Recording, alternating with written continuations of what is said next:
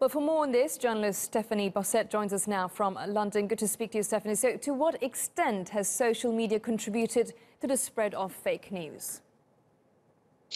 Well, I think in a way, social media has simply presented itself as a perfect platform for the spread of information, for free information, for easily accessible information, which in a perfect world uh, would be an amazing tool. But unfortunately, it's being abused uh, it's being abused to some very far extents by certain people.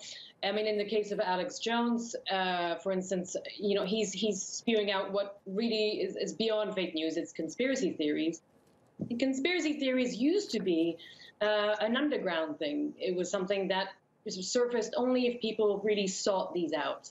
Um, unfortunately, now with you know with online radio, with online shows, with YouTube, it is so easy to to spread these conspiracy theories uh, to thousands and millions of people.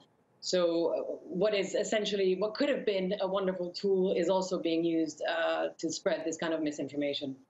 And why does inaccurate information get picked up and spread so easily?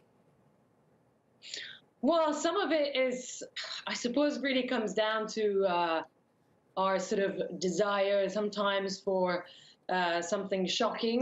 Um, conspiracy theories themselves are, are shocking and, and you know, they even have a sort of psychological um, backing to them in the sense that we like to hear these things because it sort of defends us from the truth. Truth, it's a it's a defense mechanism, um, and you know, a lot of it comes down to the fact that unfortunately we are uh, we are falling prey to clickbait headlines. Uh, which are becoming more and more exaggerated. And unfortunately, people don't click through to these articles. We sort of see something, we stop at it, and we don't make the effort to look beyond the headline, to do our own research. So some but, of the yeah. some of the not everyone is a journalist or an editor, so what, what steps can people take to check the factual accuracy of what they're reading? Well, I mean, a lot of the time is it's not even it's just to take a moment, to take a moment to really look at something, and really just just one minute before sharing it. A lot of this, uh, a lot of it, it comes down to us continually sharing articles, spreading the misinformation. And sometimes if we just take a little moment, some of these things are too crazy to be true or too good to be true.